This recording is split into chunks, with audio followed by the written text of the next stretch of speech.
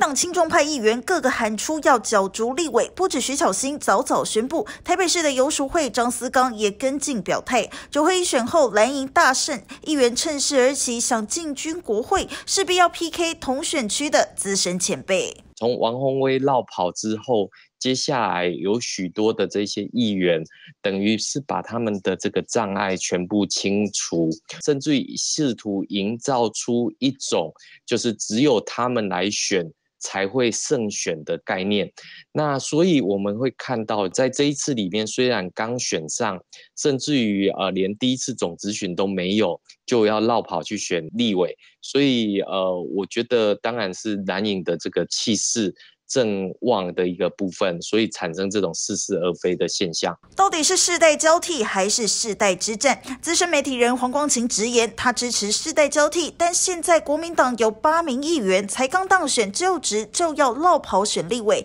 是当选民都是吃素的吗？还是把选民当做潘娜投票部队，势必要发起抵制？只是国民党新生代想出头，党内掀起卡位风暴，恐怕谁也挡不住。国民党中央现在是群龙无首，那各自心怀鬼胎，不管是想要这个进军大位不敢表态，或者是等待黄袍加身的现象，其实呃，他们都希望笼络，不管是绕跑者联盟。或者是呃现任立委的一个部分，所以都不敢出言去进行这样的一个制衡力量，或者是党内增补的一个力量，这也助长了这一群绕跑议员的歪风。议员转战立委不稀奇，但这回蓝营小鸡绕跑参战，引起党内挞伐，凸显蓝绿的世代策略大不同。可以看得出来，第一个蓝营是政治。增补失灵，那绿营的一个部分，我们看到，不管是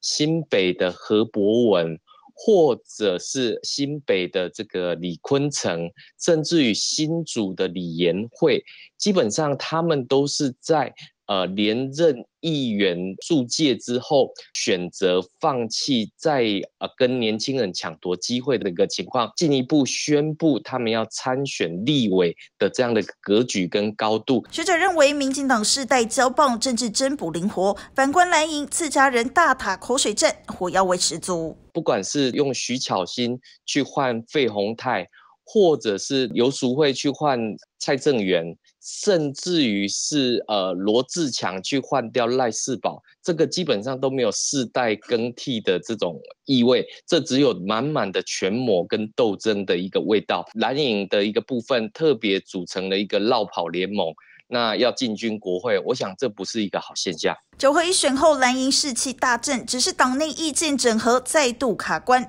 面对二零二四选战开打，对手阵营民进党严阵以待。目前蓝营气势大盛，现在绿营主要的这个本命区可能落在。台南或者是高雄，我们以台南为例的话，像国民党的绕跑选战的情况就不容易出现。相反的，我们也看到了在中山的补选之后，接下来补选，不管是蔡培慧也好，或者是即将要到来的党内的呃竞争，绿营目前呃就是如何去换回选民对他的一个支持，包括青年选民这样的一个号召，我想这个都是绿营需要去面对的一个挑战。距离二零二四大选不到一年，蓝营议员表态参选到底，世代风暴席卷全党上下。记者刘月琪采访报道。